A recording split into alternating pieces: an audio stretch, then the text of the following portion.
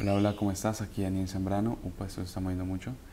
Y el día de hoy vamos a hablar de algunas noticias muy importantes, en especial del sector de Virgin Galactic, en el sector, en la acción de Virgin Galactic, y este, también de Bitcoin. Sí, vamos a hablar un poco de Bitcoin, que está pasando muy, muy, muy interesante.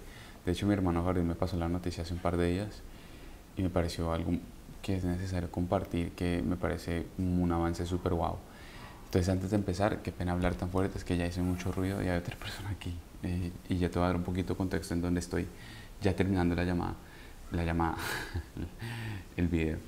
Eh, y bueno, gracias por todos los likes, los comentarios, las vistas. Y si te gusta algo de este video, siempre pues eh, no olvides que aporta mucho un like. Y entonces vamos a empezar un poco con Virgin Galactic y después terminamos con Bitcoin. Entonces eh, vamos a empezar en este momento. Bueno, ay, espérate un segundito. Me corro acá. Eso sí. Bueno, aquí tenemos a Virgin Galactic. Galactic delays first flight. Virgin Galactic retrasa el primer eh, vuelo comercial. Entonces, esto fue hace un día. ¿Y qué fue lo que pasó acá? Las acciones de Virgin Galactic cayeron hasta un 20% el viernes después de que la compañía de turismo espacial dijera que pospondría su primer vuelo comercial. El viaje está programado para el tercer trimestre del 2022, pero se retrasará hasta el cuarto o, bueno, a medida que la empresa realice reparaciones y actualizaciones. Y bueno, frente a esto, pues efectivamente la empresa pues le pegó un poquito fuerte la noticia para que y eh, Space la tenemos acá, la vamos a buscar. Eh, frente a ese delay, pues golpea la acción y vemos un retroceso bien fuerte acá de Space, que es Virgin Galactic, de aproximadamente desde el cierre del jueves hasta el viernes de aproximadamente un 16%, una fuerte caída en Virgin Galactic. Vamos a seguir con la noticia a ver qué podemos encontrar acá. Virgin está en una carrera contra Virgin, eh, Blue Origin de Jeff Bezos y SpaceX de Elon Musk. bueno, y también pues vemos que la acción es bien volátil, eso sí, la acción va súper volátil y es una acción que le afectan muchas noticias como la reeducación o la aprobación de nuevo para poder volar y bueno, frente a ese delay cae la acción fuertemente y bueno, ha venido cayendo desde un buen tiempo Space o Virgin Galactic. Em, también tenemos a, Blue Origin, Star, eh, Blue Origin hace unos poquitos días, esta semana, estoy grabando esto el domingo 17 de octubre, suenan como pájaros, el domingo 17 de octubre, esto fue hace tres días. William Star de Star Trek, yo nunca me vi Star Trek, em, eh, fue a la luna con Blue Origin y es un señor de ochenta y tantos años, el hombre de 90 años, aquí no sé, pero en otros, en otros comunicados dicen de 83 años. El capitán James T. Kirk en las cápsulas de series de televisión Star Trek despegó el desierto de Texas en las tres con, con otras tres personas. El viaje Charter en los sistemas de cohetes desarrollado por el fundador de Amazon duró 10 minutos. Entonces es algo muy chévere porque, bueno, eh, no me queda muy bien Jeff Bezos por toda la polémica que eh, ronda entre él y SpaceX. Eh, pero pues siempre es algo muy positivo que otras empresas pues hagan o intenten hacer competencia a SpaceX. Entonces aquí tenemos a este personaje de Star Trek que nunca me lo vi, pues por ejemplo por acá es este viejito que está por acá como que what the fuck entonces pues sí duro 10 minutos no, no, es como una osadía como SpaceX pero pues eh, eh, bueno hay que reconocérselo. Una persona de ochenta y tantos años en el espacio la batió un récord de la persona más vieja en el espacio súper interesante. Mira el viejito, la cara que pone. muy chévere, muy interesante, pero bueno. Eh, y finalmente tenemos esta noticia que me la mencionó mi hermano Gabriel hace un par de días. SEC de US eh, permite que ETF de futuros de Bitcoin de ProShares comience a operar el lunes, es decir, mañana. Eh, vamos a ver un hito histórico que a un ETF basado en futuros del Bitcoin, es decir, que el activo subyacente va a ser Bitcoin, va a estar cotizando en bolsa como tal en la bolsa de Estados Unidos el día de mañana, lunes. Es un hito muy, muy, muy, muy importante. Después de, negar o retrasar o ignorar decenas de solicitudes en los últimos cuatro años, la Comisión de Valores de Estados Unidos de Bolsa de Valores ha dado su aprobación al ETF de Bitcoin. ProShares presentó un prospecto modificado el viernes indicando que ha recibido el visto bueno para que su ETF de estrategia de Bitcoin siga adelante el lunes. El ETF es la compañía vinculado a contratos futuros de Bitcoin, es decir, no estamos comprando Bitcoins como tal, no se está invirtiendo en Bitcoin, sino como futuros en Bitcoin y no directamente al precio actual de Bitcoin. Pero su, para, pero su aprobación sigue representando un momento histórico en la industria de criptomonedas. Claro que sí.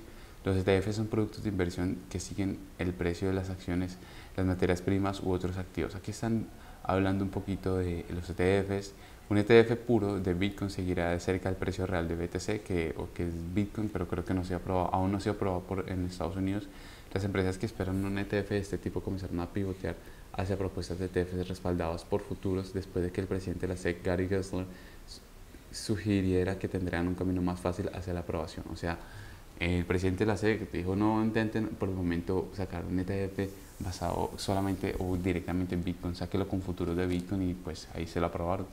Un número creciente de empresas esperan que la aprobación de sus propios ETFs, entre ellas Galley Digital, Mike Novas y ARK Invest. De Cathy Wood, ARK Invest también quiere sacar su propio ETF en cripto, en Bitcoin súper interesante.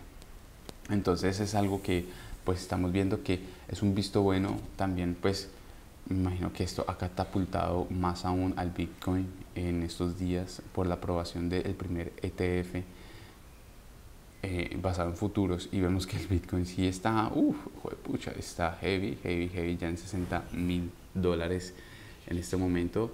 Encontramos que está ahí ya golpeando o está muy cerca del techo y está, tiene una ola, ha subido fuerte, tiene un rally muy, muy heavy estas últimas dos semanas.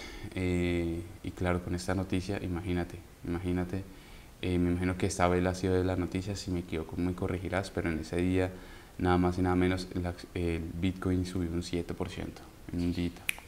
Pero bueno, es muy interesante, muy interesante. Entonces espero que te haya gustado muy rápidamente esta sesión de de pues, noticias de la bolsa. Y qué pena no hablar tan duro, es que sí, ya me llamó la atención mi novia de que está hablando muy fuerte o puse los videos muy fuerte aquí en este Airbnb. Y bueno, esas son las noticias y te voy a dar un poquito de contexto en donde ando, eh, ando y por qué estoy con esa cara y por qué ando así como que con la cara que ando. Em, estamos en Cancún eh, y este, fuimos ayer a Playa Mujeres llegamos, llegamos como desde las 11 y nos fuimos de Playa Mujeres como a las 9 de la noche, llegamos aquí a las 11 de la noche. Duramos en la playa mucho tiempo. Eh, primera vez que mi novia conocía el mar.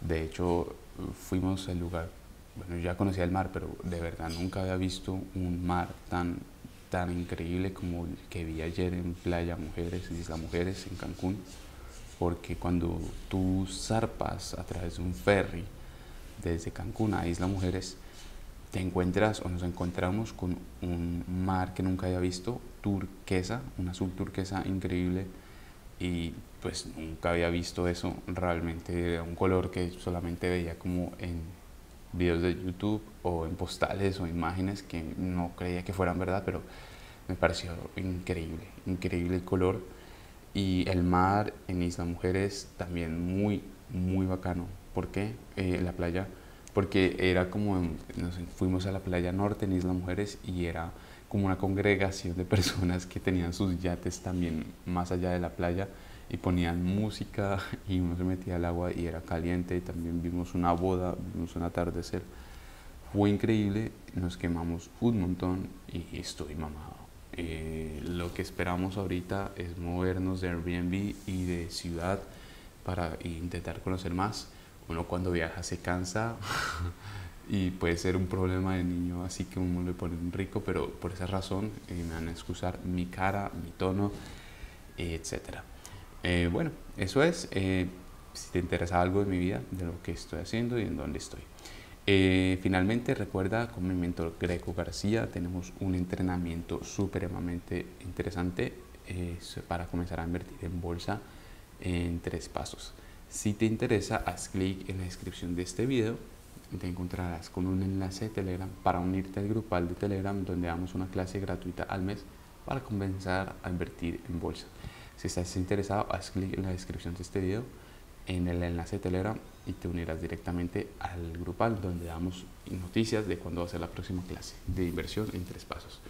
Y si estás interesado en entrenamientos más avanzados, no olvides visitar nuestra página invierteygana.net para pues, informarte más sobre otros entrenamientos que mi mentor Gregor García y yo impartimos sobre inversión. Espero te haya gustado el video. Un abrazote. Chao, chao.